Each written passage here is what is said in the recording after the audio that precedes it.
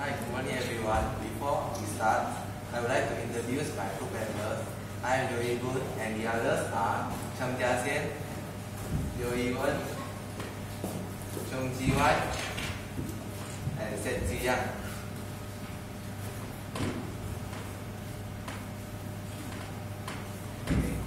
We will present on preposition used for exceptions.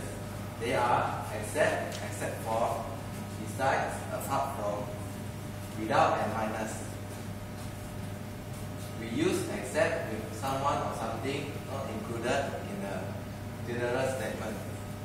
We usually use except after a quantifier such as every.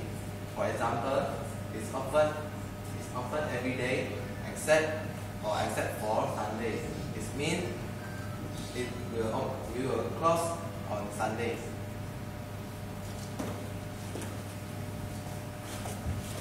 Hi my friends, please always remember that we allow to use accept me, not accept I in the sentences. Please look at this example. Everyone like the film accept me, not accept I. Am I clear? Yes. We usually use except for, not except, with information and to a specific statement. For example, she said she stopped smoking except for an occasional cigarette at a party.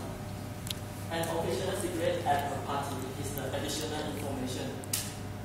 So whenever we add information to a specific statement, we use except for, not except. Am I clear? Yes. We use except not except for before the preposition phrase. For the example,